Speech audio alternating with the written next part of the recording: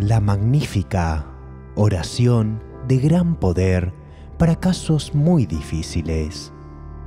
Por favor, tómate tu tiempo, busca un lugar tranquilo en donde puedas relajarte. Si lo deseas, cierra los ojos, respira profundamente, concéntrate en eso que estás precisando para tu vida y escucha con mucha atención.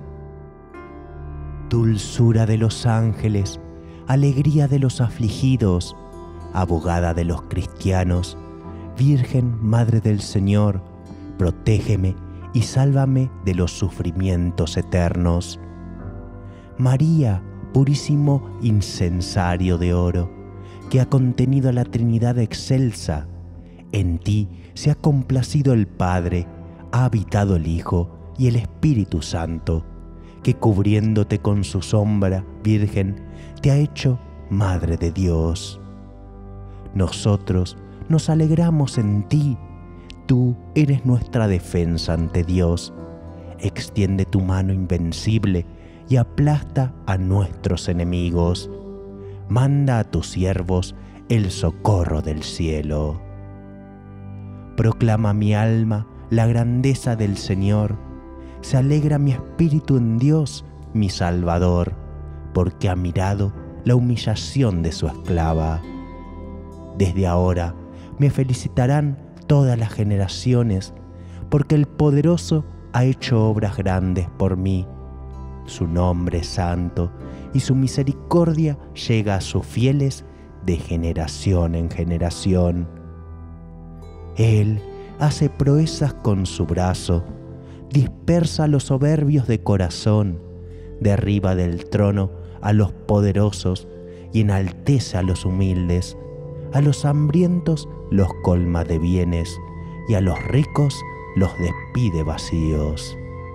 Auxilia a Israel, su siervo, acordándose de la misericordia, como lo había prometido a nuestros padres, en favor de Abraham y su descendencia por siempre. Gloria al Padre. Bajo tu amparo nos acogemos, Santa Madre de Dios. No desechéis las súplicas que te dirigimos en nuestras necesidades. Antes bien, libradnos de todo mal y peligro. Oh siempre Virgen, gloriosa y bendita.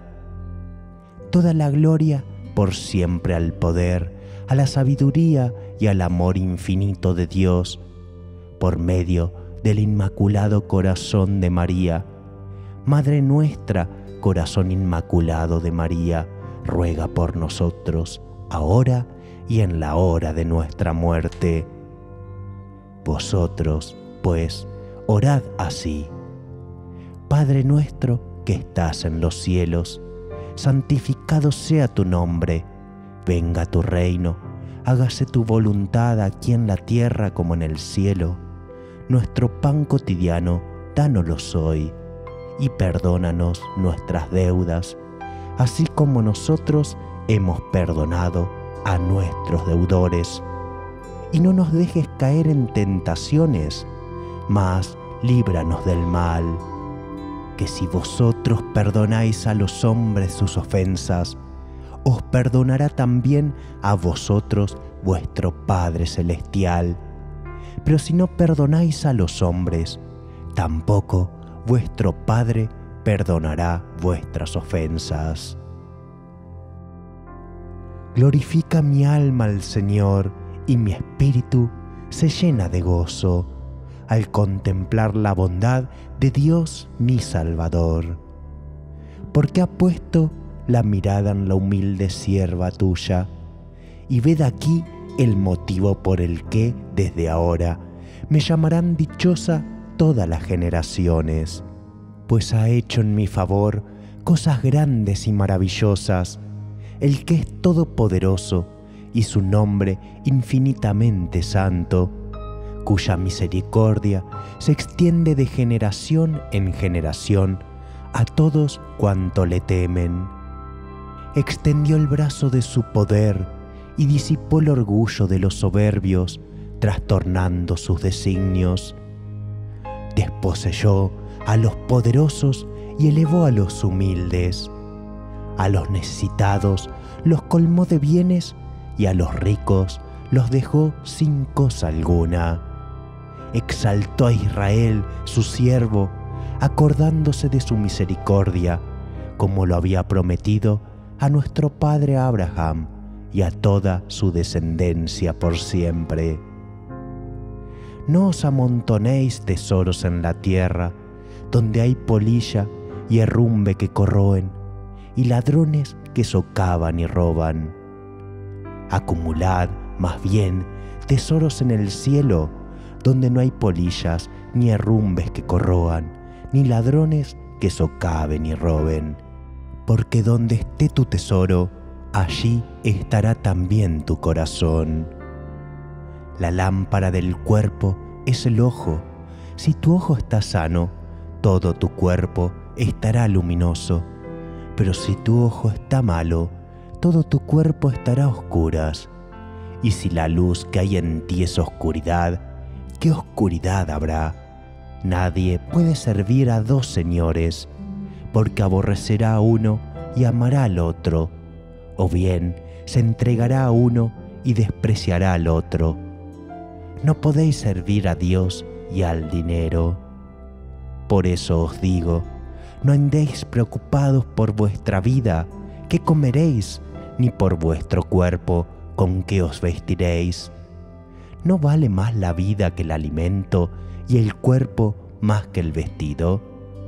Mirad las aves del cielo, no siembran ni cosechan, ni recogen en graneros, y vuestro Padre Celestial las alimenta. ¿No valéis vosotros más que ellas? Por lo demás, ¿quién de vosotros puede, por más que se preocupe, añadir un solo codo a la medida de su vida?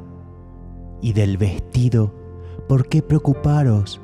Observad los lirios del campo, cómo crecen, no se fatigan ni hilan pero yo os digo que ni Salomón en toda su gloria se vistió como uno de ellos. Pues si a la hierba del campo, que hoy es y mañana se echa al horno, Dios así la viste, ¿no lo hará mucho más con vosotros, hombres de poca fe? No andéis, pues, preocupados diciendo, ¿qué vamos a comer? ¿Qué vamos a beber? ¿Con qué vamos a vestirnos? que por todas esas cosas se afanan los gentiles, pues ya sabe vuestro Padre Celestial que tenéis necesidad de todo eso. Buscad primero su reino y su justicia, y todas esas cosas se os darán por añadidura. Así que no os preocupéis del mañana, el mañana se preocupará de sí mismo. Cada día tiene bastante con su propio mal. Amén. Amén. Nos quedaremos unos segundos contemplando la presencia de Dios. Siente el aire que respiras, cómo recorre todo tu cuerpo, el aire que toca tu piel, los sonidos de tu alrededor, los aromas que te rodean Siente por medio de tus sentidos la presencia de Dios Todopoderoso y realiza tu petición nuevamente con mucha fe, mucha fe. Mucha fe.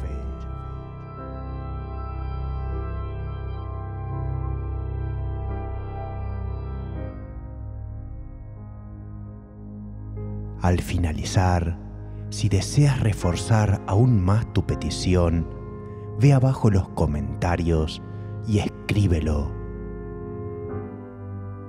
Si esta oración te ha sido de ayuda, si te ha gustado, por favor, dale una manito arriba y compártelo.